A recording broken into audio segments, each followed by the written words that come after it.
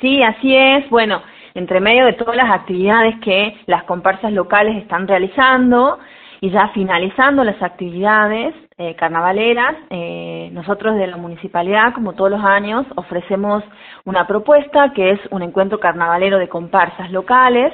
Obviamente también siempre recibimos eh, comparsas eh, de otros de otros lugares que quieran venir y, público en general que quiera venir a, a bailar y a compartir con nosotros. Bien. Realizar este encuentro eh, el día de mañana, viernes, ¿sí? 24 de febrero, a partir de las 16 horas, en el Polideportivo de Yala, eh, para disfrutar una hermosa tarde. Vamos a tener eh, grupos, eh, grupos de cumbia, que va a ser el grupo tropical Art de Volcán, el grupo folclórico Los del Ceibo y los de Caporales de Humahuaca y Caporales Norte. Perfecto. En el caso de las comparsas, ¿quiénes, quiénes son los que van a estar, eh, quienes van a estar participando? Y si alguna comparsa se puede, se puede sumar a la invitación, ¿cómo puede hacer para contactarse con ustedes?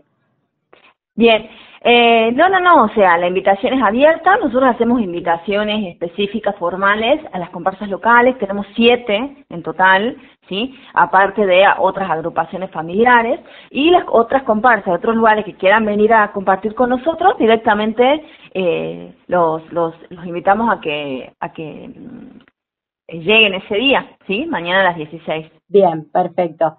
¿En dónde nos encontramos y a partir de qué hora, Ana?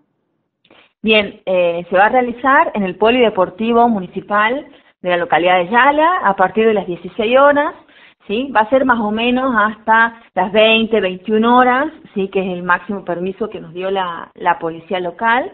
Así que bueno, para pasar una, una hermosa tarde, va a haber mucho baile, van a haber grupos de caporales que van a estar eh, mostrándonos su arte, eh, así bueno, y obviamente muchas banderas, mucho talco, nieve y demás para mostrar que son actividades carnavaleras.